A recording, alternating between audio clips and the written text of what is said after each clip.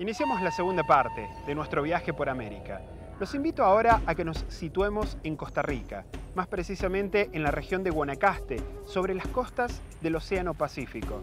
Allí vamos a disfrutar de la belleza natural del Parque Nacional Palo Verde.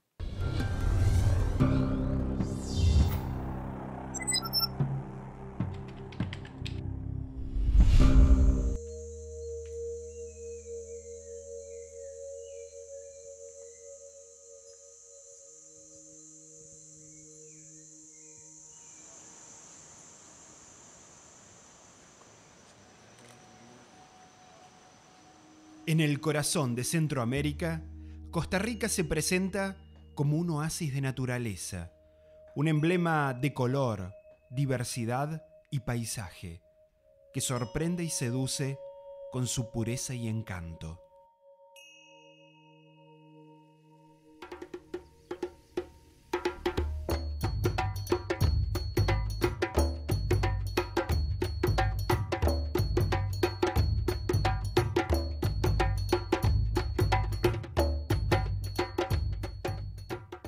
En una mañana de pleno sol, me encontré recorriendo el Parque Nacional Palo Verde, una amplia área protegida que se ubica en la región de Guanacaste, en el extremo noroeste del país.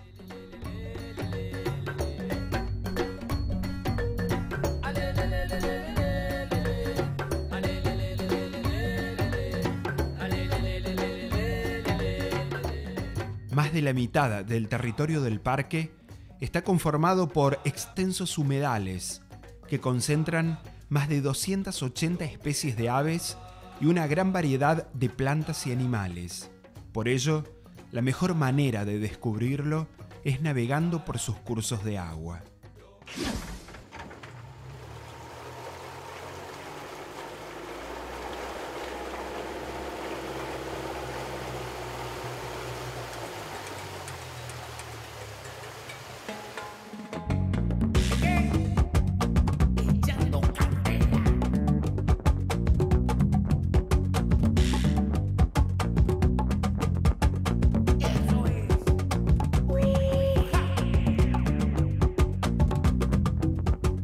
Palo Verde se encuentra delimitado por los ríos Tempisque y Bebedero. La cuenca hídrica de ambos abarca el 11% del territorio total de Costa Rica, aportando energía y riego para áreas agrícolas.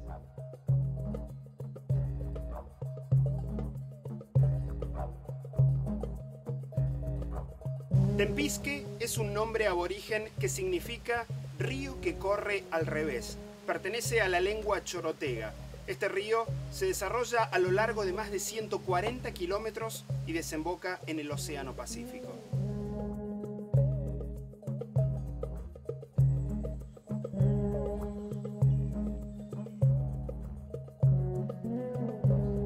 En un tranquilo andar, agudizo mi vista para descubrir animales en medio de los tupidos manglares.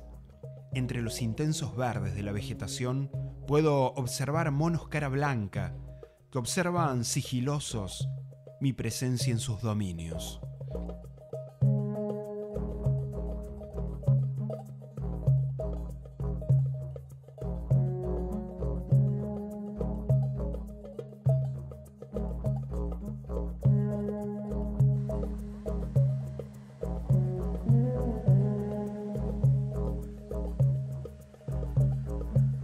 Troncos que sobresalen de lo espeso del bosque, descansan las iguanas, mientras buscan recibir el sol que las ayuda a regular la temperatura de su cuerpo.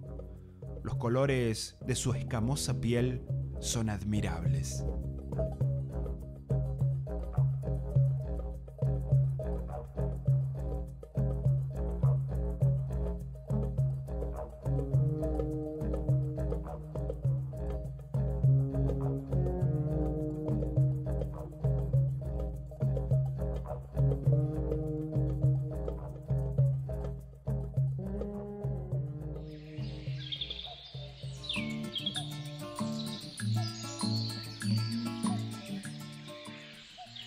Garzas, patos y gallitos de agua se ven por doquier. el cantar de las diversas aves que habitan en el parque o llegan en largas migraciones para reproducirse aquí son el sonido perfecto que suman magia a este paseo natural.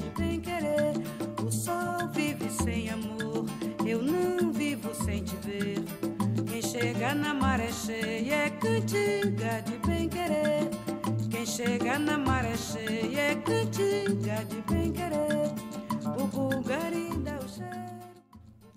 Cuando uno se entromete en áreas protegidas, al principio se siente un extraño.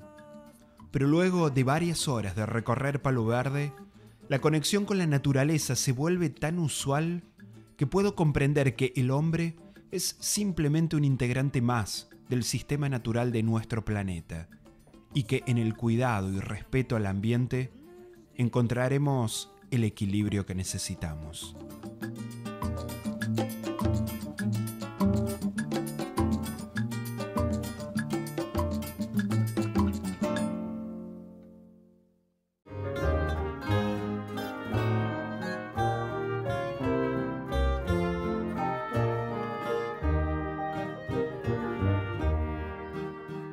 ¿Qué les parece si seguimos disfrutando de los contrastes diversos y fascinantes que nos ofrece América?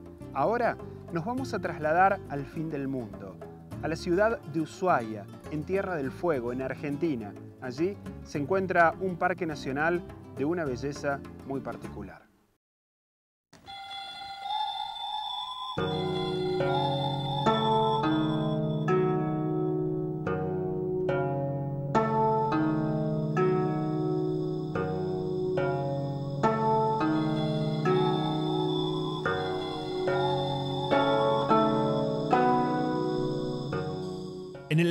Sur de América, separada del continente por el estrecho de Magallanes, se extiende la isla grande de Tierra del Fuego, dueña de una belleza incomparable.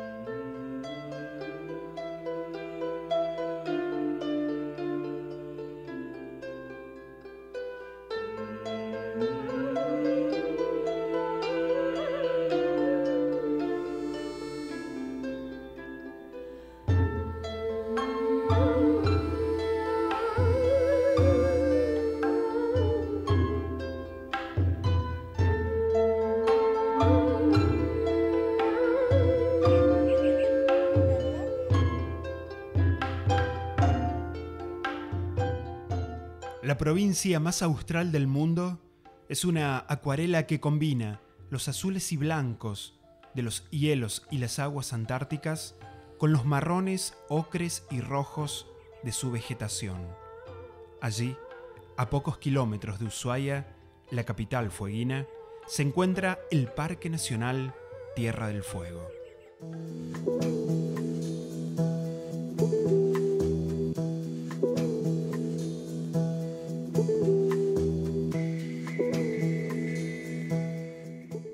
Reserva, creada en 1960, se ubica al sudoeste de la provincia patagónica, sobre el límite internacional con Chile. Posee una superficie de 63.000 hectáreas, que abarca las ecorregiones de bosque patagónico y altos Andes.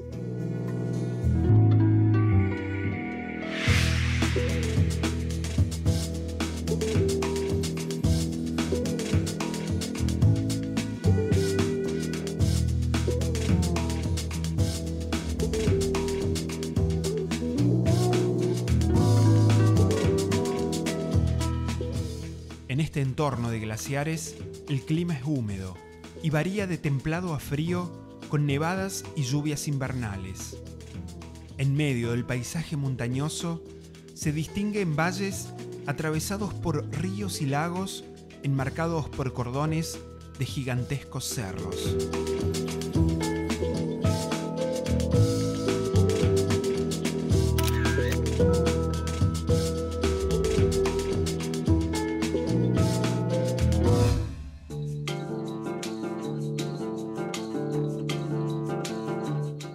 Amplia extensión del Parque Nacional Tierra del Fuego está surcada por senderos que invitan a descubrir la magnificencia de la naturaleza austral, explorando bosques de diversa vegetación y especies de aves y mamíferos que los habitan.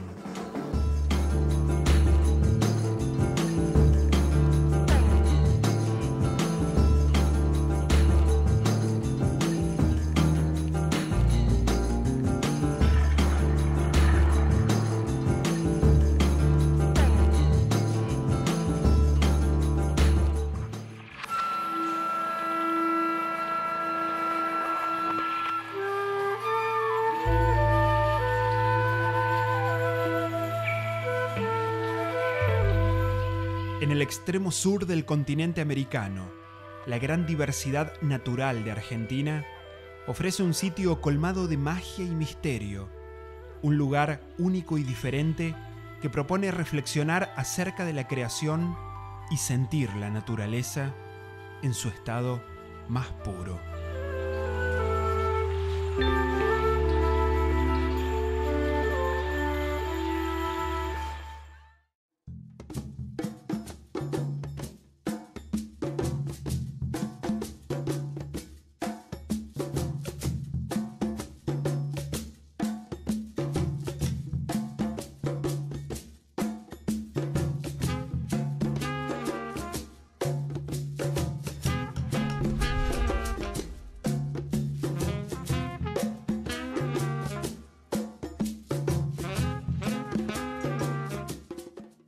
Momento de hacer la segunda pausa en el programa de hoy. En el próximo bloque vamos a caminar por las laderas del volcán Pacaya, en Guatemala, y también viajaremos a la región centro de Argentina para disfrutar de sus bellísimos paisajes.